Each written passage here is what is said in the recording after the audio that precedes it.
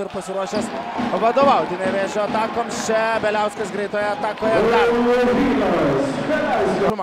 Beliauskas iš trijų taškų zonos Laurinas ir na tai yra žmogus ties kuriuo Kėdainių ekipoje tikrai mažiausias su Kalaidzakiu dviese bėga į polimą.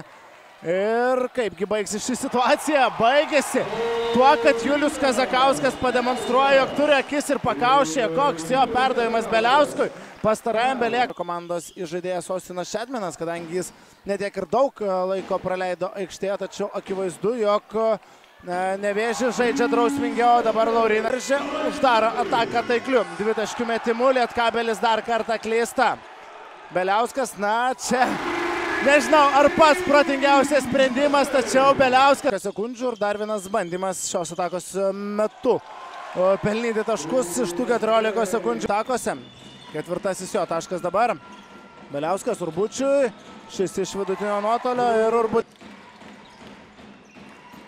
O ko jo? O dar du jo taškai.